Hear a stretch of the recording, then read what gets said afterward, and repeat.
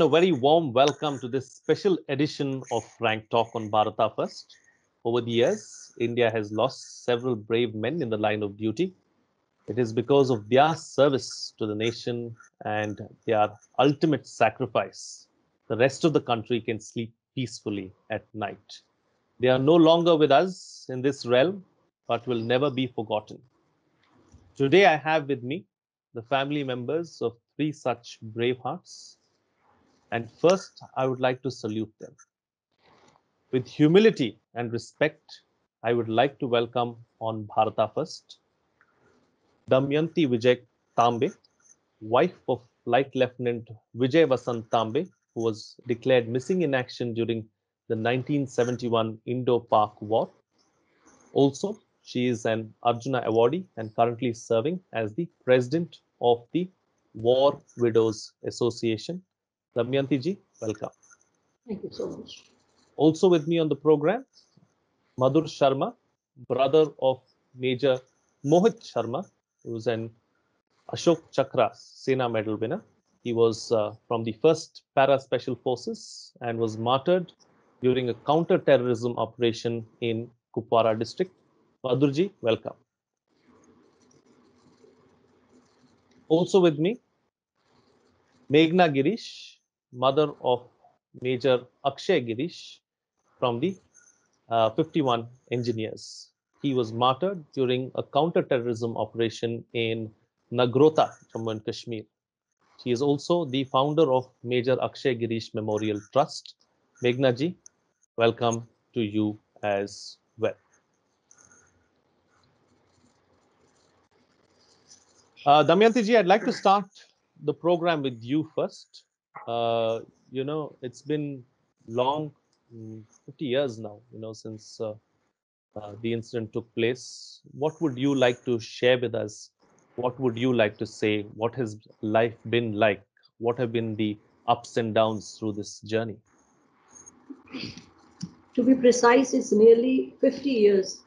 And I think that makes a bigger impact instead of number of years. One line, I would say life has not been easy. I'll not say difficult, but I'll not. I'll say not been easy. First of all, uh, what facilities and what things are being given in the current uh, sort of time, they were probably not available to us when all this happened. And very briefly, I'll say we were posted in Ambala when the war broke out, and my husband's unit moved to Amritsar. But the wives obviously were left behind. Some of them had gone back, some of them stayed on. I was one who stayed on, spent two, three nights in the freshly dug trenches, infested with ants, etc., till I got a message to say that I should go home. Now, there was nothing, nobody to help me to even go to the station. I mean, I don't want to make it sound such a big thing because it's so far back in my life now and so much has happened since that that also doesn't sort of is not is really insignificant.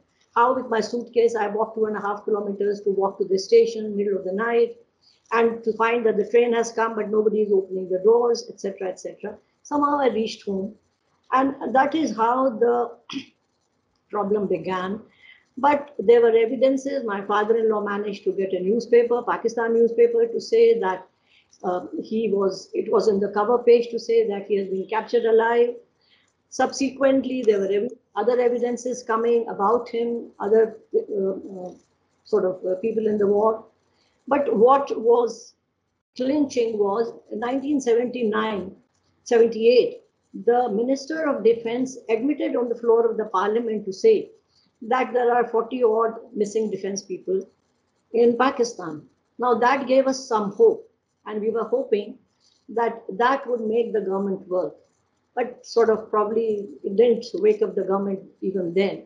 And it was all left to us, as it turned out, that we should produce evidences and pass it on to the government for them to work on.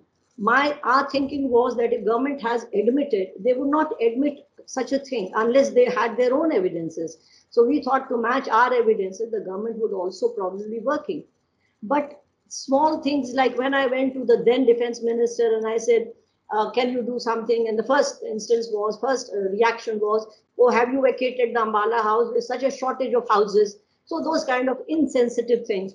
Another minister, we went to meet him. Of course, we were not getting appointments, but we took the early morning visit to them where they have this darbar kind of a thing.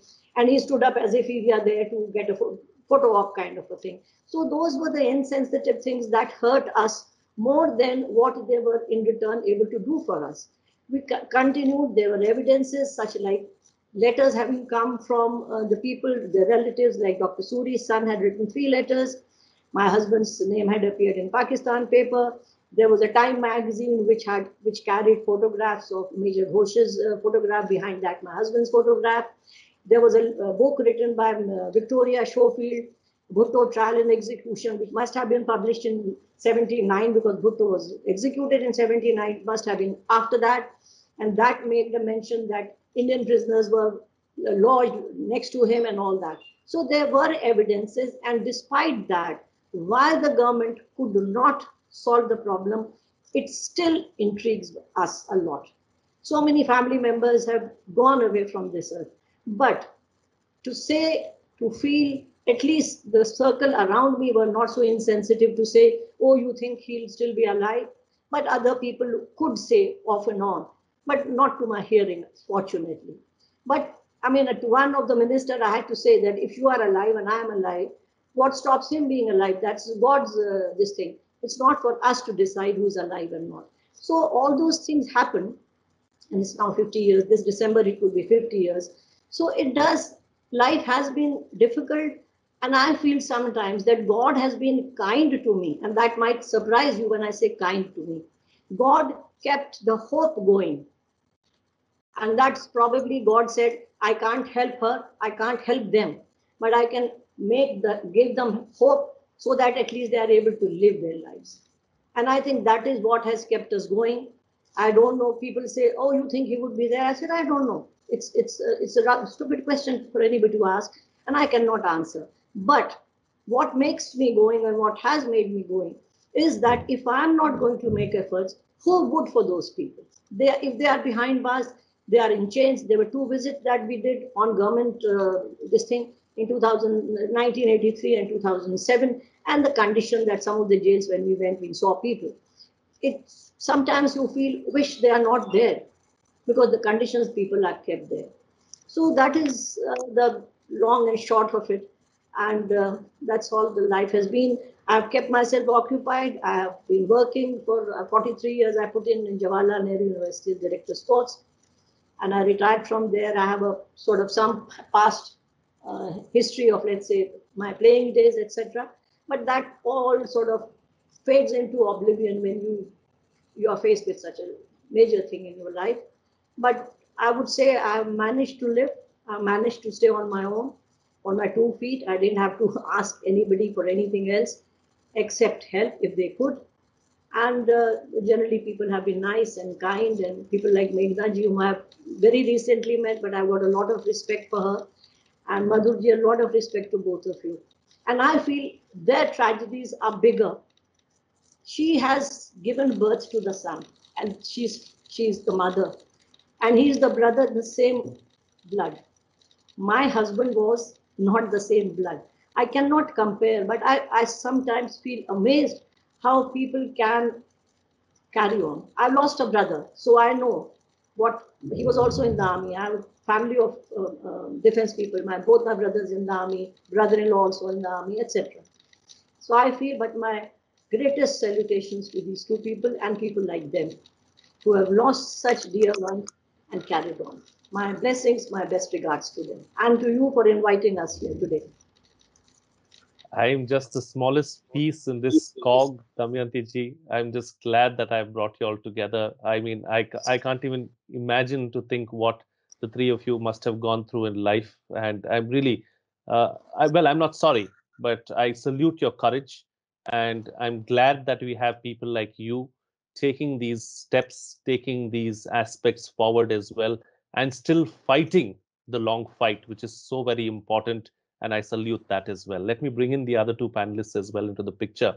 Madhurji, uh, let me come to you now. Uh, you know, Damayanti ji says that you've had the worst side of the bargain than her. I mean, it's really courageous of her to to to have said that and to be saying this. And I'm really welled up right now. And but still, I must continue. And like the adage goes, life must go on. But it's been a difficult life, hasn't it? Madhurji? Well, yes, it has. I mean, uh, every feeling, every uh, emotion, you know, uh, the complete surreal experience of when that news breaks out to a family that a very near and a loved one is, uh, you know, as they say, killed in action or he's been shot or, you know, he's going to be no longer with us. I can guarantee you, and I'm sure Meghna auntie and obviously to some extent, uh, the auntie, auntie will also feel the same, and they've experienced this firsthand as well. Is is you start to believe that this is probably not the world that you are living in person. You, you start to feel as if everything is happening in a dream, and this dream is gonna completely shatter off when you're going to open your eyes.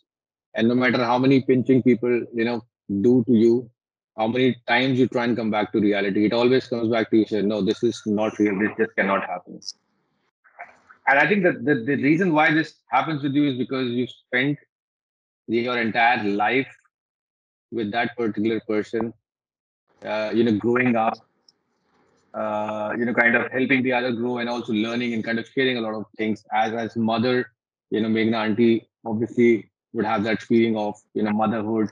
She would have carried him, uh, you know, in his lap. For me as a brother, we were like very close. It was almost almost a year year and a month of difference between us. So we were lesser brothers than friends. Uh, you know, true to the word that people say that sibling, you know, rivalry and sibling love. You know, sleeping in the same bed forever, forever. You know, since you went to the NDA. Uh, you know, fighting over whose shirt is the other person wearing, is his shirt or my shirt. Uh, you know, uh, when he used to go out with friends, he used to, you know, kind of take my clothes off and show off as his. And he used to, you know, really, really kind of shout at me if I were to kind of come around and even make a hint of whose clothes is wearing. So I think all those kinds of you know funny little things that you've done, uh, you know, uh, we, we've we've come of a family who've been uh, uh, you know starting off as a government servant, middle class, sharing a bicycle. Who's going to ride the bicycle? Who where, where's the other brother going to sit? Who's going to pick the bags? Uh, you know, uh, who's the person who's caused the other person to get late to the school bus?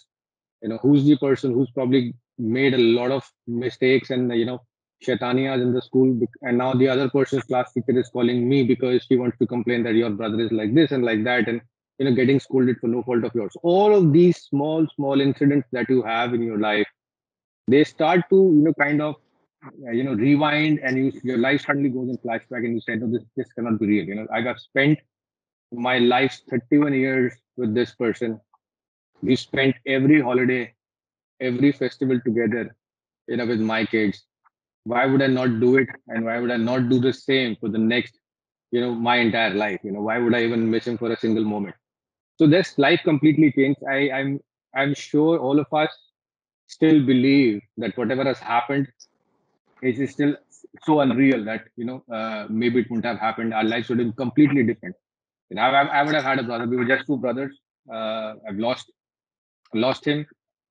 And that means that I have to basically grow older by myself. You know, I have no other sibling to look forward to. My kids don't have, uh, you know, their chacha and his kids and his family to look forward to. We really have to think about, uh, you know, uh, vacation mein kya karna hai? Is it all going to be myself, by myself? You know, are they going to go over to somebody's place and live there for about a week and come back? It, it completely changes the entire experiences of life uh, you know, if you're completely alone and you've lost somebody, you know, close to, uh, you know, as close to your brother. The good part is that, uh, you know, we've had our struggles, we've had our, you know, support from all, a lot of people in the, in the society and in the fraternity, the likes of Damayanti auntie, Meghna auntie, they've been a strong, strong pillar of support. I was, I was very young when this happened and I always look up to these people for a, for a lot of, uh, you know, inspiration and motivation, just keep standing up and, and going forward I, I, still remember when this all happened. I think uh, in the government at that time, I, I would name. I'm, I'm, sure people will find out. Even the district magistrate and the SSP didn't have time to come to our place and you know uh, kind of inform us. It was mostly uh, the unit officers who came to us and gave us news. Once the government knew, uh, and you can go back and look at newspapers, you'll find that they have big bold news in the front page which says that DM and SSP don't even have time to go to Martyr's family to you know kind of console the family. I think the few ministers who came in, I'm, I'm really uh, honored and thankful to uh, you know uh, honorable defense minister. He's now the defense minister, but at that point of time, he was a leader of the opposition. Uh, you know, uh, Mr. Rajnath Singh. He came over. He was, he came over at I think a couple of hours past midnight. As soon as he got to know, he was a sitting MP of our uh, you know constituency Ghaziabad. He came over. You know, he met the family, and the next day when the news break out, you know, people start to came in, come in. but again, that's the kind of you know support we had from the local government. So, and and when you start to compare that with Kargil, when when it happened. It was really okay. So uh, in 2000 and you know 99 end of 99, uh, you know 2000 Kargil happened, uh, and if you compare it to the incidents that that have happened, uh, you know after that, you'll find that a lot of things that have happened that have gained uh, you know kind of a lot of visibility because of the way they happened. For example, 2611, uh, you know you know the attack on the parliament. You know all those things, you know, and then uh, even you know Inspector Mohan Chand Sharma, who was uh, you know kind of killed in encounter with the terrorists in the Batla House, which is very famous. You find that these people really make a lot of uh, you know get a lot of visibility. People really talk about them, but somewhere we've lost a lot of heroes uh, in that you know past 20 years, and you start to look at uh, you know what has happened, and it's been left to the families to really push and kind of create that visibility for them and you know kind of make people realize that there are also as you know brave and as you know forthcoming and forthright as their brothers who lost in either Kargil or in 2611 or in you know Parliament House attack or in any other encounter that is happening anywhere in the you know in the country. Every soldier who goes ahead, lays his down, uh, you know, lays down his life. His family really, really has to feel the pain and carry the burden of their legacy uh, and, and kind of push that forward. I hope that changes, and I'm sure that will change slowly and steadily uh, and hopefully we'll have a very different kind of uh, you know environment later on. And i'm seeing a lot of positive vibes and, and you know steps coming out of the government as well. But if you compare all these 12 years you know when we lost mohit uh, and then you know you kind of start to see that difference of what you know families have to really go through uh, apart from really you know missing out and losing a person very close to them in a blood relation uh, and things like that. So I, I i'm really kind of thankful that you know people like uh, you know, us, people like you, people around us have really taken this to their heart and they're, they're making these small steps because when we see people joining us, coming to us and talking about it, making them forward, I'm so happy to see that they've been, you know, helping us carry the legacy forward and kind of joining the other families together and making it one big responsibility of the entire country to kind of make sure that everybody understands and realizes the pain and uh, the sacrifices not only these people but their families at the back end have made to make the country safe and secure and, and to make the families proud. So, uh, you know, that's what I think, uh, you know, is, is my comment on, uh, you know, what's, what's been changing and how I see things going forward. Absolutely. Absolutely. Well, uh, I, I mean, I really have no words to even console you, but what I can say, Madhurji, is that you have, you lost a sibling, but you have people like me who are always there with you and you spoke about that holiday. Maybe we can take one holiday together and our families can meet and we can our children too can have a good time and can probably I, we can never fill up that gap and fill up that space but maybe it can make some kind of a difference. Now the most thank you. Thank you so much. Now the most difficult part uh, Meghna ji uh, un- I'd like you to unmute first, though. I've unfortunately put you on mute. Thank you. So, you know, I have a son who's five years old, and he means the world to me. And I can't even imagine or can't even think what my life would be if I didn't have him in my life. So, I mean, I, I can feel your pain and I can I, I can really, you know, feel what you're going through he, my son, is someone who says that he wants to join the army. His fifth birthday was celebrated at a camp which was simulated into an army kind of a setting, you know, and he's visited, thanks to several people that I know from the armed forces, he's visited uh, several of the regiments, several of the army camps, and he has firsthand seen it. And ever since he's been there, he's just been talking about how he wants to join the army. He's made a song about joining the army and all his toys are related to the army. He recently got a Lego set, which was completely, you know, an army Lego set with a jeep and with a glider and with whatnot. Despite all the stories that we see, despite everything that I've heard from you as well, there's not an ounce of me. There's not in a, you know, not in once that I think that I wouldn't let him join the armed forces. I would, I would be the proudest father ever if I could see him eventually keeping up that interest in doing that. You know, and each one of you has done the same with your own children with your own siblings and so on and so forth. So you know but to have lost a son meghna ji is like like damayanti ji has already pointed out it's it's something else. Uh, you know I, I don't even want to ask you how the journey has been because i already know how the journey has been. But but you know I, I really don't know what to ask you but please the floor is yours. Share what you feel like and you know say what you want to first of all i'd like you i'd like to tell you that uh, don't even think about you know if and when. Uh, your job as a parent is to support your child and uh, god bless him. Everything will be fine. Let him follow his dream. And i'm very glad you said that you're not going to stop him. Having said that uh, the reason why i've really welled up is because uh, both damayanti ji and madhur when they were talking about their journeys of loss i was uh, I was living that journey through them. And every relationship is as special, you know. So it's been really hard for all of us. And uh, uh, like you're saying, you know, to lose a son, it's been recent as well. It's only four and a half years. So I think I'm still grappling with it. So, and I'm not usually, you know, teary eyed when I do interviews because it's usually me and somebody else. But today we have three of us.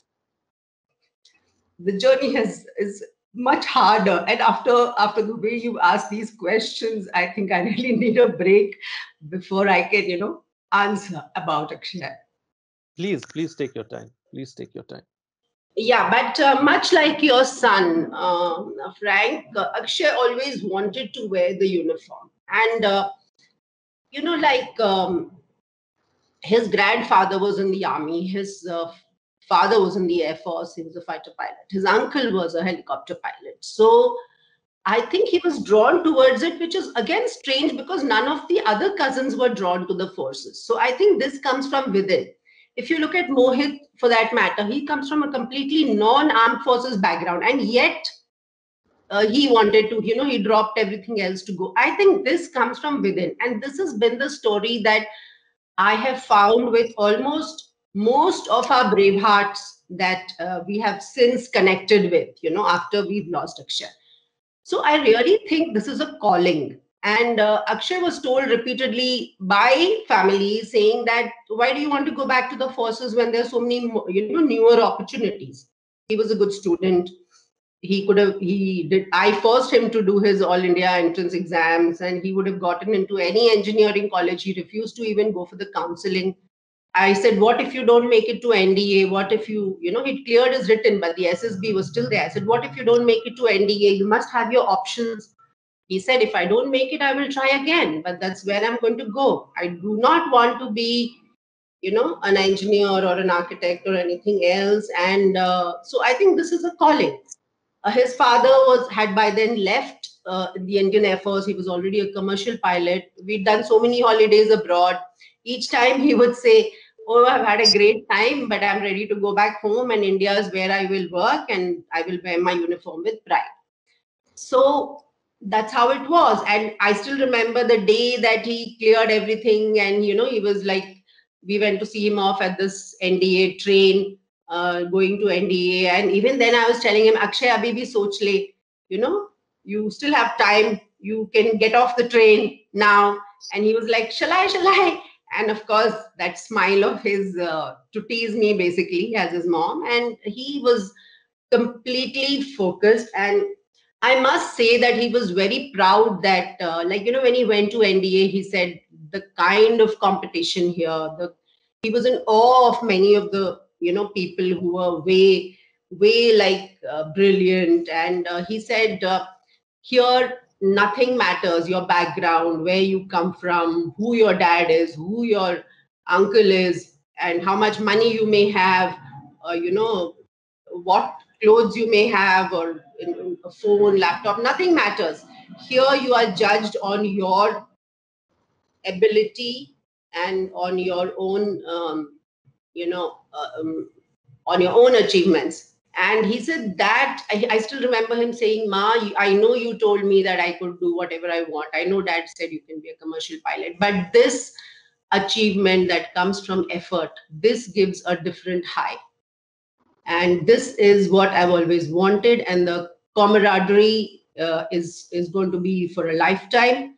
And uh, he was very, very happy and proud uh, to be an army officer he did a little short of nine years of service, but he was in uh, his first posting was in conflict zones, Nagaland and Manipur. He did uh, Kupwara and Kashmir, Kandahar, and uh, he did high altitude along the line of control with China at over 19,000 feet.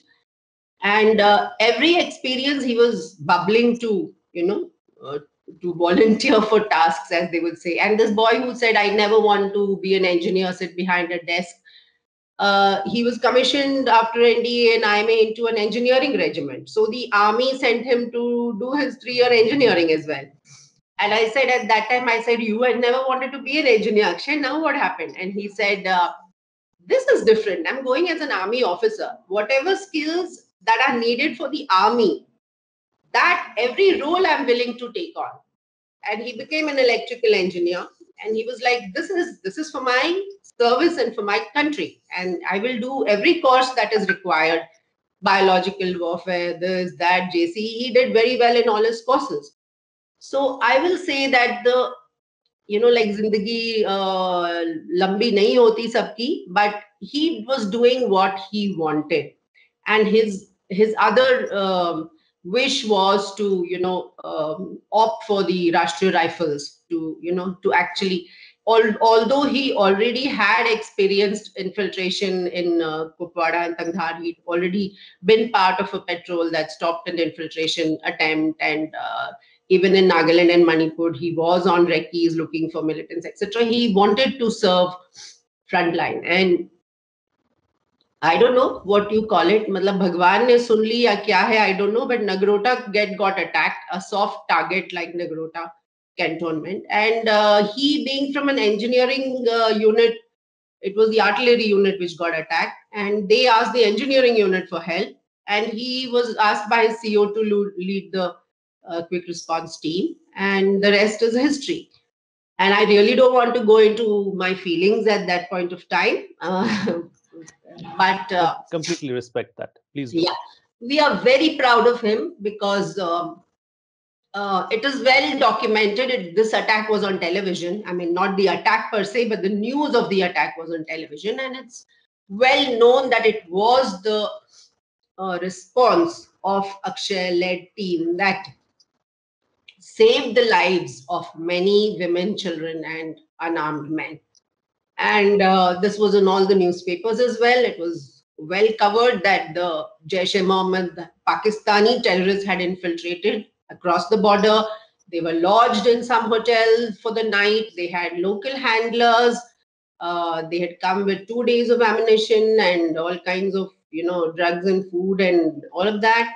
And um, their plan was to mm, do a long siege to embarrass the uh, army and the country and uh, they did not succeed. They would they wanted to take hostages. They would have probably killed a lot of people. We know what's happened earlier in uh, kaluchak and sunjuwan or even in taj mumbai. So they, that they failed is because of the bravery of our soldiers. Major kunal gosavi manadir uh, akshay and naik chittaranjan devrama made the supreme sacrifice doing just that saving lives. So we are very proud of akshay and uh, and everybody else nation is proud, not just you, Meghnaji. We as a nation are proud.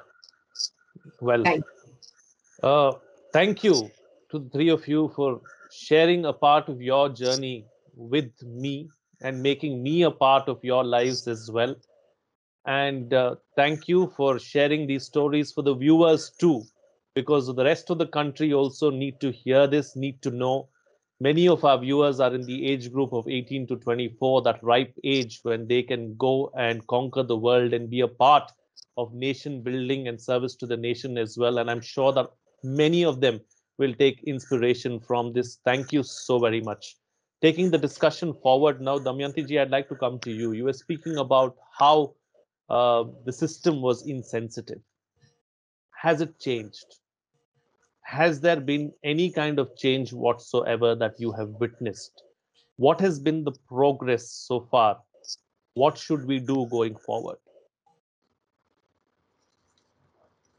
First, I'll say uh, what it was to the extent I will say is that when my husband went missing and when the surrender and everything happened, from that day till today, nobody from the squadron or Air Force has even come to visit me.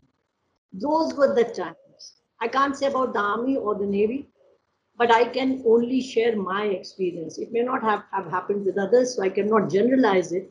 But my experience was that nobody visited me even after the war from the squadron or even bothered to make a phone call. So that is one. So starting from there, anything that happens here is definitely an improvement. But what I would like to say is now that I am working with the War Widows Association, I don't know how many of us know that India has got the maximum 27,000 war widows in the world. No other country, to my information, has got so many war widows. Number one. Number two, in the association, we are primarily trying to help them in whichever way they want to. But the main crux is somebody asked me the other day that you rehabilitate them. I said, no, we don't rehabilitate them. The government is supposed to rehabilitate them. What they do is the government's job. We only fill in, try and fill in the gap. Government makes some uh, some schemes, and if it does not reach the war widow, obviously the, the, the scheme is of no good. And the major crux of the war widows are in the rural belt, rural areas, far-flung areas, and probably not even as educated.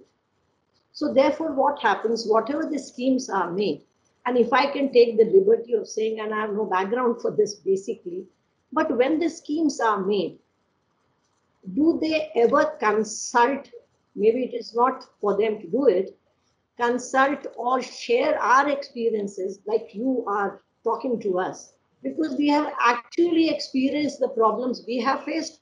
And now as a president of the War Widow Association, I'm dealing with cases.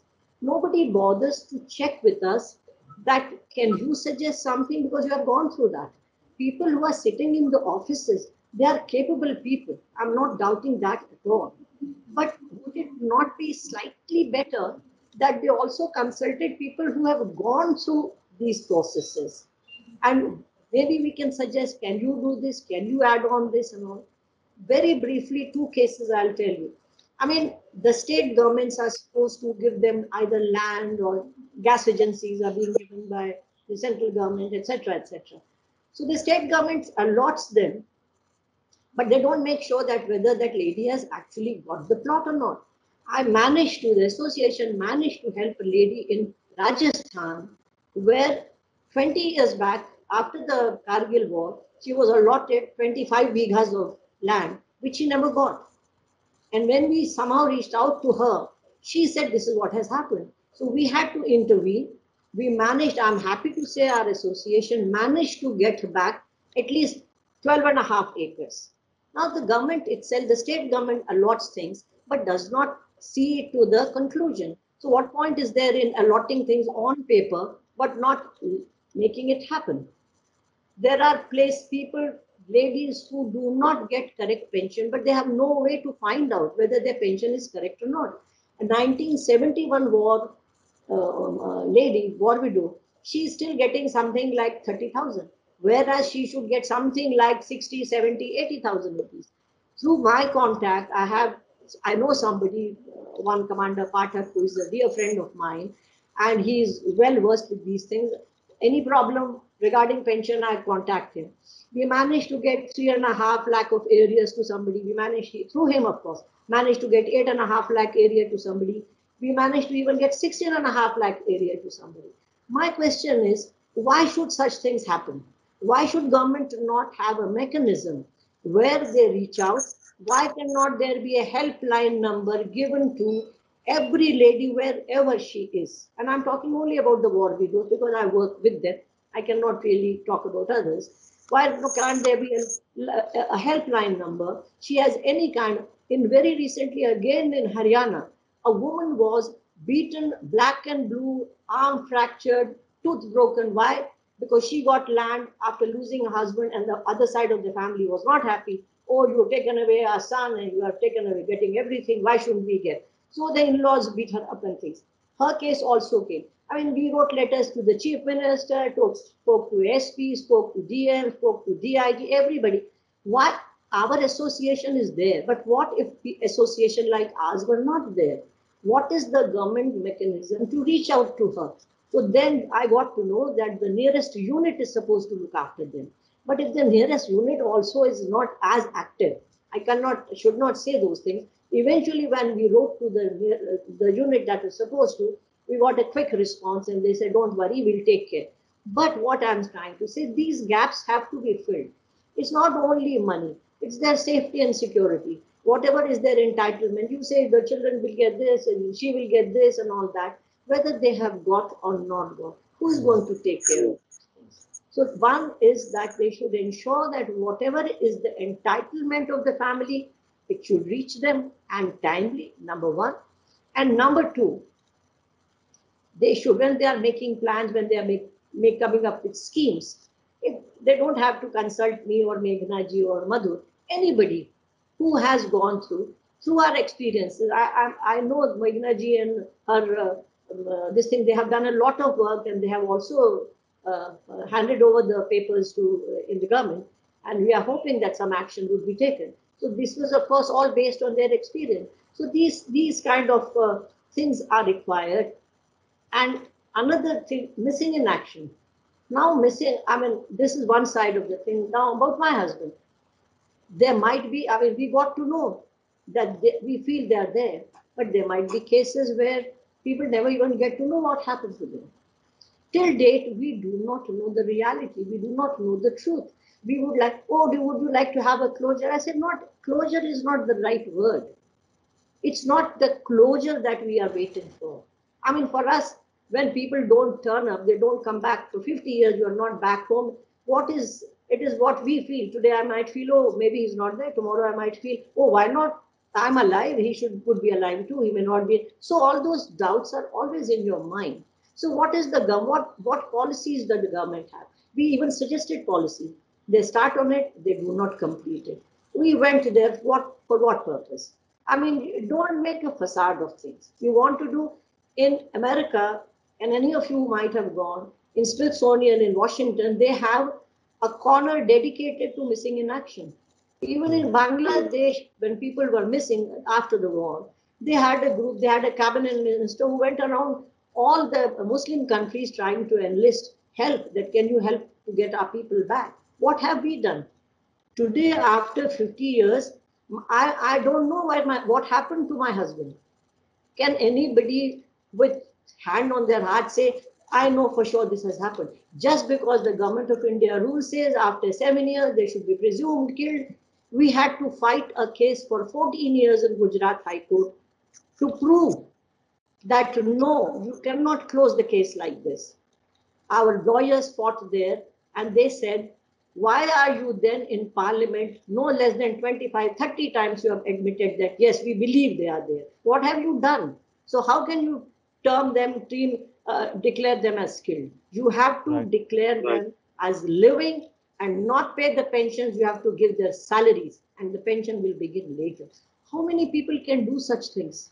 I feel, oh, I'm educated. No, I'm not educated. And I had a group of people who are, we were working together and we had a good lawyer who was equally passionate about our issue. And therefore we could reach. And then what happened?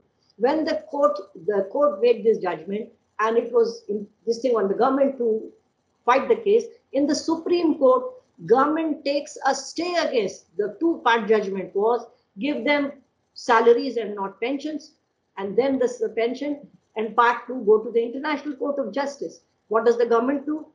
They go and take stay against in Supreme Court against their own soldiers who are not come back. How do you describe these things? What is the issue? You be frank and say, oh, we are also flouting all rules against Pakistan and therefore we don't have a face. Admit.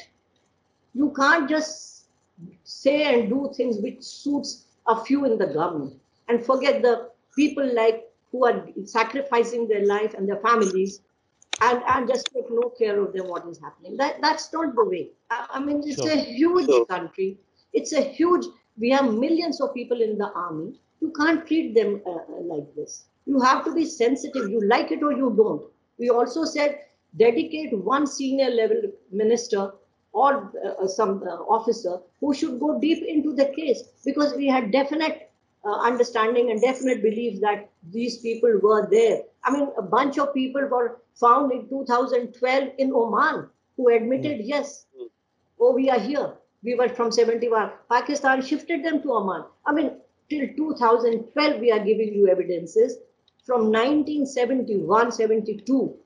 And even then, uh, you don't take any action.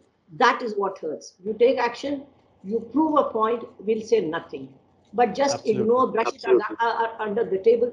That is you are not being fair. And what my biggest the sadness would be and i say it sometimes that my husband would neither get the tricolor on his coffin nor dhatti ki mitti Meghna ji as we say. Na aap apne dharti pe aa paaye na aapko wo aapko wo izzat mili ki tricolor aap od paaye.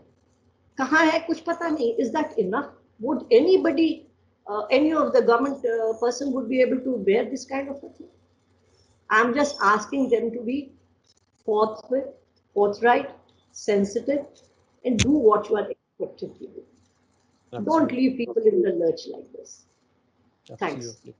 Thank you so much, Damayanti ji, for sharing what needs to be done going forward and what has been done so far. And I hope the powers, uh, uh, you know, that are actually listen to this and we see some kind of change going forward as well. You know, talking about going forward, Madhurji, coming to you now. Uh, what is the best way forward? I mean, uh, what is the kind of support system that is in place? Is it uh, through members from within the armed forces itself that there is a support system that is created? And what is the best way forward? I think the biggest uh, kind of support that you, you start to need is the emotional support. I think you really need to have people who are close to you, close to Mohit, or who've been close to the person that you just lost are around you from the fraternity, from the society to really kind of you know give you your shoulders and say you know uh, you know be with you. You know this is obviously not something that we expected to happen. Everybody's proud of the sacrifice and the contribution that people have made and the family have made, and really start to help them get on moving with life. I know it's very difficult. It's easier said than done. It's it's every day that they will have to really kind of you know go back and start afresh. It's not like you know it's been you know four and a half years for Meghna auntie or 12 years for me or 50 years for the auntie auntie every day in the morning when you wake up you have that feeling of being uh, you know left with a void of somebody who was supposed to be there is not there right? So, so you need a lot of emotional support from your family from the society from your friends everybody right? That's that's the first thing you start to feel. Now the other kinds of support obviously the financial support uh, the uh, the life continuity support for people you know that's very important as well right? The uh, the sacrifices, the contributions people have made towards the country, uh, you know, helping them carry on the legacy and making sure that they are respected, they are communicated, uh, they are known to people. Uh, you know, they are used as an inspiration, motivation for the next generations to come, so that they can feel inspired and motivated what what people have done in the past. Is the next kind of support that you need. So financial support again. Uh, you know, as Ami auntie, auntie strongly put it, and uh, you know, I completely respect her views there are the even in financial support you kind of look at these uh, you know uh, contributions that people can make in two two ways right? There are families like uh, you know people who've had a good background uh, and they're kind of you know uh, good enough to carry the carry the you know life moving forward. They don't need a lot of financial support but still they need a lot of support from the government to make sure that the legacy or something is institutionalized to carry the legacy forward.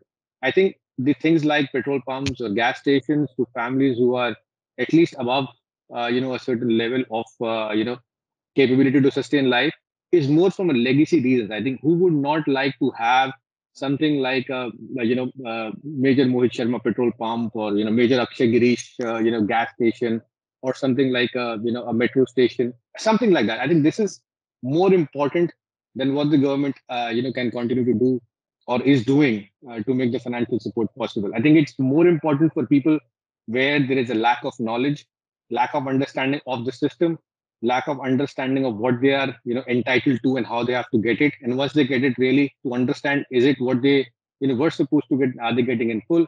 How to make sure that you know the people around who are you know part of the entire family are also getting support by the same system that is getting, uh, you know, uh, given out to them to carry life forward. So there are a lot of intricacies, and you know, I, I I'm sure, and you know, uh, you know, both my uh, you know aunties would agree. It'll be very difficult to really come out and say, you know, this is the golden possible thumb rule that we're going to make, and say, you know, this is going to make and completely change the entire thing that has happened in the past. We all learn from each other's experiences. I've learned a lot listening to a lot of people. Uh, auntie's, uh, you know, effort. Everybody knows she's done a lot of work and researching, talking to people all around the country and she's got a lot of experiences uh, you know which i have heard. And they're they're very unique experiences. No one experience is similar to the other although there might be shades of similarity.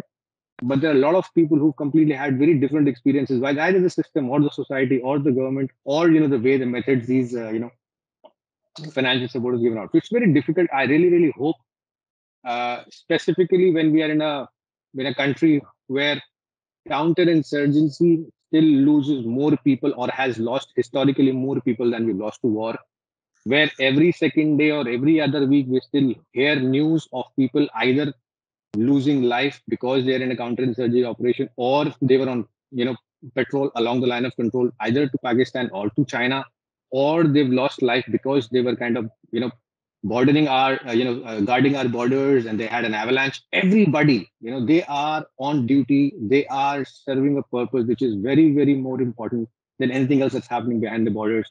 We have to understand that there has to be something some institution some committee very learned people people who had the experience and the knowledge if they don't have the experience, then bring in the people who had experience, who've done the research, who have the knowledge, and to have these experiences come together and have that brainstorm in parliament, outside of parliament. I, I don't think anybody really cares where that discussion happens. What people really care about is there has to be an organically growing, created system which can slowly and slowly evolve as experiences happen over the period of time, and really can kind of you know think about the families who've been left behind by people, not only their you know uh, you know, wives if they've had wives, even their parents, uh, you know, who've lost a son, uh, you know, their children, everybody. I think it's more about, uh, you know, uh, continuing the legacy and continuing the financial support that people need rather than only the financial support. So it has to be looked at in the entirety. It's sure. not finances and money that the families are looking for. They're trying to find out a mean where they can carry on the life and maybe put that money and the support that they're getting from the government to carry the names of their young ones or their kids or their brothers forward. I think that's very important. Right, then Meghnaji, uh, getting a concluding uh, comment from you on the program about your personal suggestions and uh, how where do we go from here? You know, Damayanti ji raised a very important point about consultations. We've done an entire uh, research for advocacy effort where we've documented the current status of Veer as we call the war widows, as well as uh, parents of uh, you know soldiers killed in action. And there are many gaps between entitlements and benefits, and there's a lot that can be done very easily. It doesn't uh, cost money; it just needs will. So all this uh, talk about we respect our uh, soldiers and we always stand with our families, this needs to translate into action.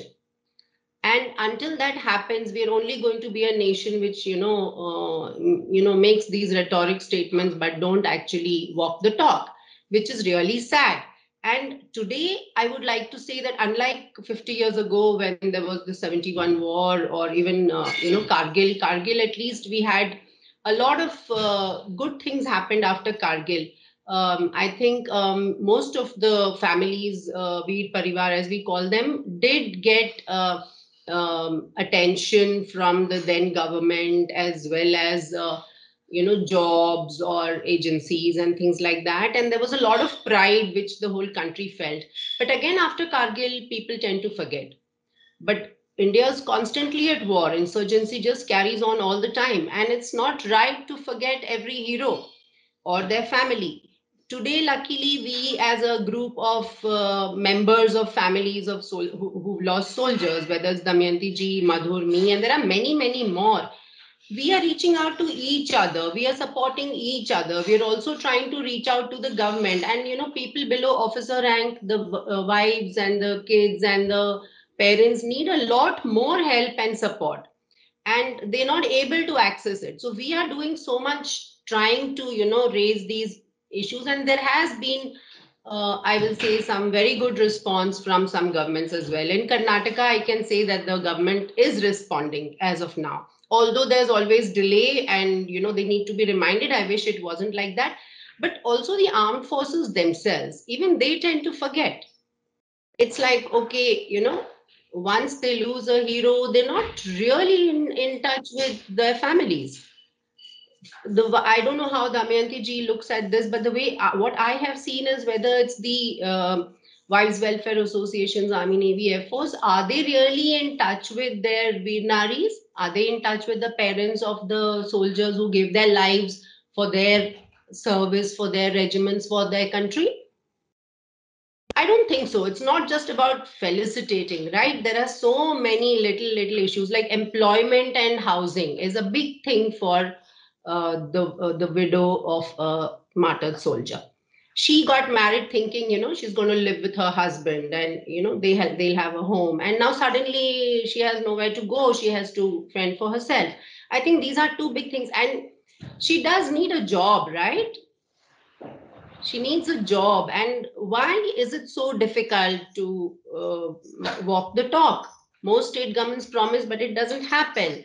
And how is she supposed to keep following up following up you know dealing with the grief and the sorrow? I think as a nation we need, we need to find solutions to this. And what about elderly parents? Their hope was that you know they will when they are old right now they, uh, you know when they lose a son is usually young right the parents are still at that point of time independent working they are supporting if anything else they are supporting or supportive of their children but they thought that when they get old they will have you know the son would be looking after them or daughter in the service for that matter. Now we even have women in the armed forces. Suddenly they're forgotten. They don't exist. They don't exist for the armed forces at all, especially when their son was married.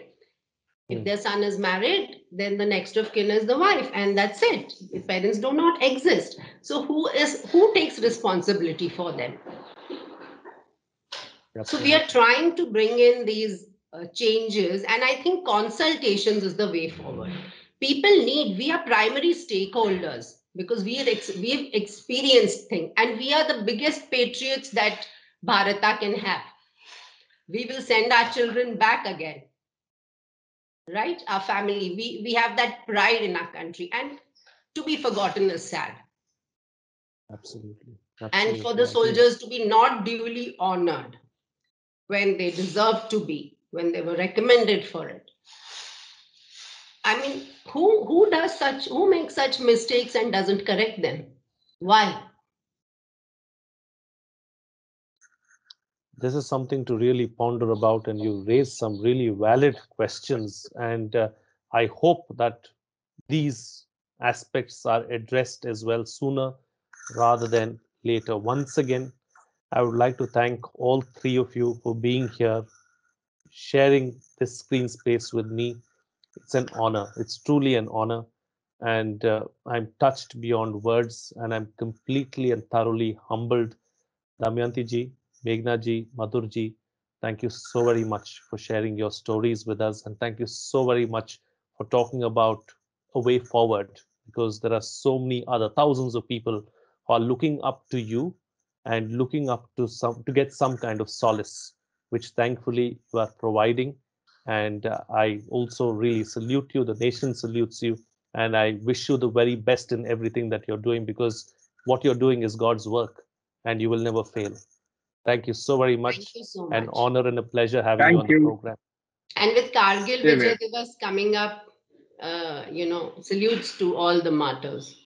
Absolutely. Yeah. Absolutely.